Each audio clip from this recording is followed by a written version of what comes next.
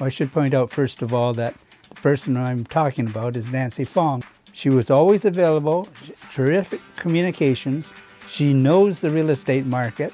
I was looking for someone experienced, but more so, somebody with real sales ability.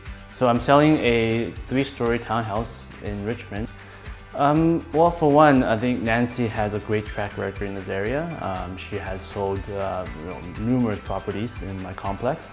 Uh, so I always see her sign is up. Um, there's sold signs within a couple of uh, weeks. She's always shown me that she's always been looking after the best interests of her clients.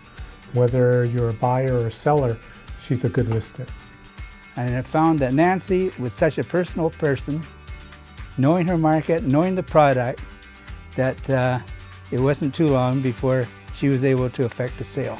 Um, you know, and she was very uh, you know, informative and also communication-wise, um, she was really on the ball. Like you know, you can text her, call her um, in multiple languages. Her knowledge of the real estate business, her knowledge of the market around our neighborhood, and the fact that she had buyers left over from the initial sale that she had on the uh, on the gray house on the corner.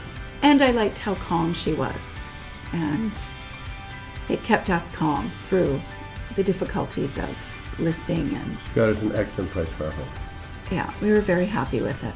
I would certainly recommend Nancy to my family and friends if they were in the market to sell real property. Go with Nancy.